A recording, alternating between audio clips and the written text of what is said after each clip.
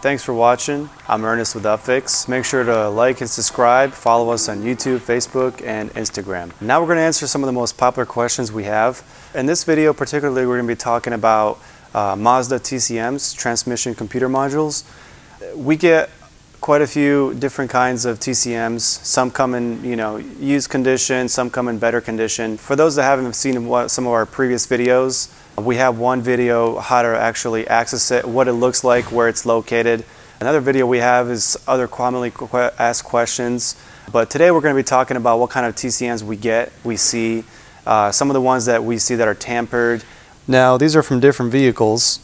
Uh, some of these come, so this one right here, as you can see, uh, is somebody had already tried to strip or remove all the silicone uh, here. If you can see the uh, silicone up closely, um, is all removed. Now we don't recommend doing this when you actually have it uh, due to being if you're trying to remove this with tweezers you can accidentally take off any one of these tiny components um, and damage other stuff on the circuit board um, and also because the silicone itself protects from moisture, oil, any kind of liquids, water, etc.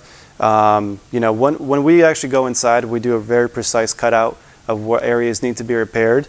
Um, so we do see these and even if we have these that we that come in that come this you know heavily tampered, uh, we'll put our own little black pad that seals it off from any kind of outside contaminants. So these are could still be repairable, but we just don't recommend exposing or removing all the silicone. The other kind of tempered units that we get are, as you can see on this one, it's got this pretty heavy black um, permanent epoxy on there. Now, this could be from maybe somebody else tried to repair it, somebody themselves, and thought this was a good idea just to cover it up all in a permanent epoxy. Um, so that's the kind of tempered units we see. If we're not able to repair it, we'll definitely email you, let you know that there's something that we come across. Um, another important factor that you want to also keep in mind is when you're removing the, um, the locking mechanism on the plug, you got these two little ears that you see on the sides. Um, a lot of times what happens is the clip is not fully disengaged, the locking mechanism, and when you try to pry out that plug, um, it'll actually break these connectors. Now, one of the downsides of having one of these tabs broken off on the side is when you're trying to secure that plug on top, it'll actually slide off eventually. So you want to make sure that, that as the clip is disengaging, the plug will simultaneously start moving out. And you, it'll be a white connector on the top.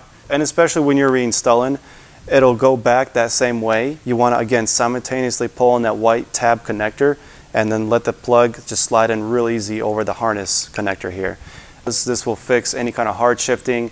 If you have any um, transmission codes, uh, you definitely want to pull those and make sure to let us know what codes you're having exactly. Uh, the check engine light and the automatic transmission AT light, which is red, it'll, they'll both probably pop up. And so when you scan the, scan, uh, the TCM with a scanner, you'll probably see those codes and just, um, you know, it could be a P0773, could be a no communication U01, 01 or U01 100. And those are the kind of codes that are related to the TCM. But for the most part, the transmission computer module is highly suspect to be the top reason why you're having hard shift issues and why you have check engine light and the AT light. We recommend, as always, to mount it to the brake lines, not back in the transmission. And the reason being is because First of all, the transmission computer module is mounted right on top of the transmission and the vibration eventually causes it to overheat and cold solder joints happen. Uh, putting it, mounting it to the brake lines eliminates the heat and the vibration and you should notice an immediate change for the better when you're driving your vehicle. How long does it take to actually uh, get to the TCM to remove it and uh, to reinstall it? Shouldn't take you more than 30 to 40 minutes if you take your time with it. Uh, reinstallation, uh, it's going to be even faster. If you were to buy a new TCM from the dealership, first of all, a lot of dealerships don't even have these parts in stock. They have to special order them. When you buy one from dealership, it can run you anywhere from $900 to $1,200. We've seen some pretty outrageous prices when they're selling them brand new. We advertise these repairs for 199. That's a fraction of the cost, and it's your original TCM that can be rebuilt and another thing is, was that we always program and update them to the latest firmware update. And because it's your original one, you won't have any uh, compatibility issues when you're reinstalling the car. So yeah, let us know what you think of the video. If you have any suggestions, leave it in the comments below.